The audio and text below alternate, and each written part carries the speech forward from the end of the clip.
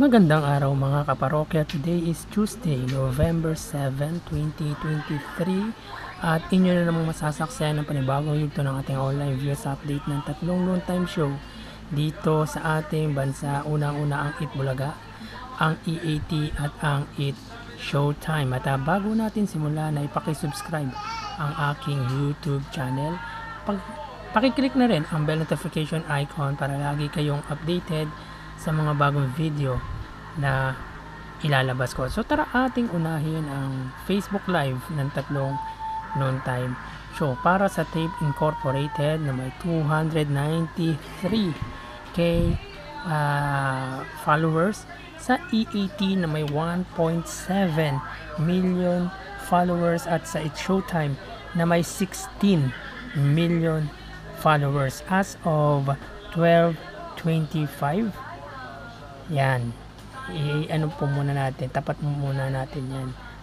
Sa nakikita po natin ang Showtime ay may 34k uh, live viewers. Samantalang ang EAT ay may 8.6k live viewers. As of 12 uh, 25 po yan. Samantalang ang ang Eat Bulaga ay may 587 live viewers.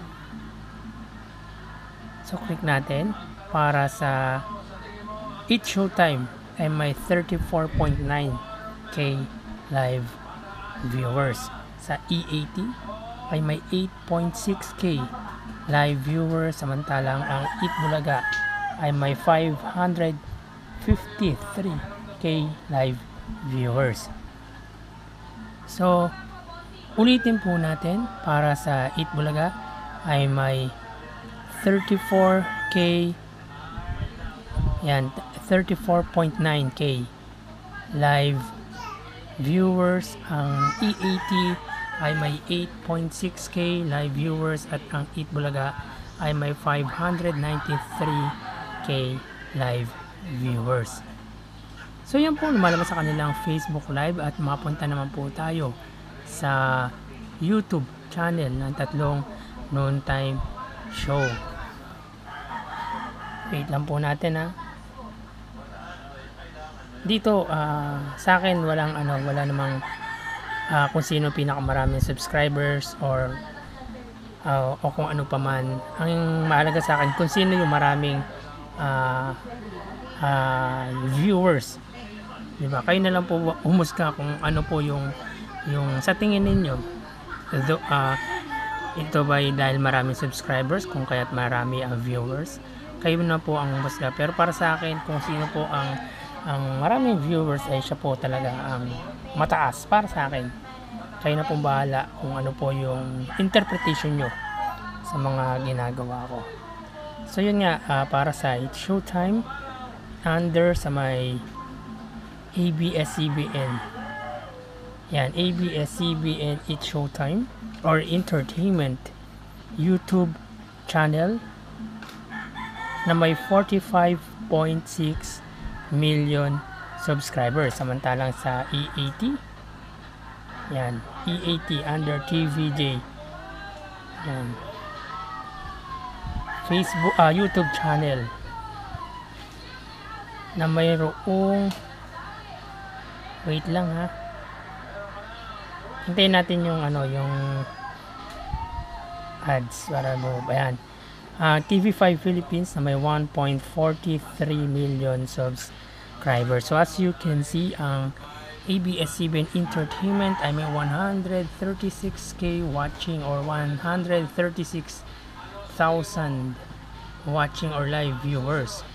Ang E80 naman ay mayroong 31k live viewers samantalang ang It Bulaga ay mayroong yan. 1.2k live viewers. So anin po muna natin ulitin po natin ang 8 Bulaga as of 12.29 ang 8 Bulaga ay may 1.2k live viewers. Ang EAT ay may 31k live viewers.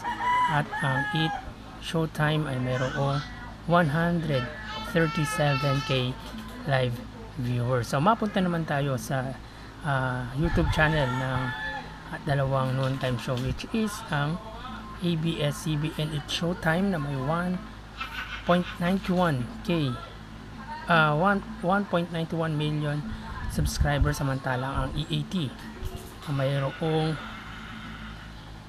681k ah subscribers. So sa nakikita nyo po, ang It Showtime ay may 42k ah, live viewers samantalang ang EAT ay may 34k live viewers. So yan po ang lumalabas sa kanilang noontime show, ah, live viewership at ah, mamaya ay magbabalik po tayo sa ikalawang yugto ng ating online views update ng tatlong noontime show. Magsikain na po kayo. Thank you and God bless.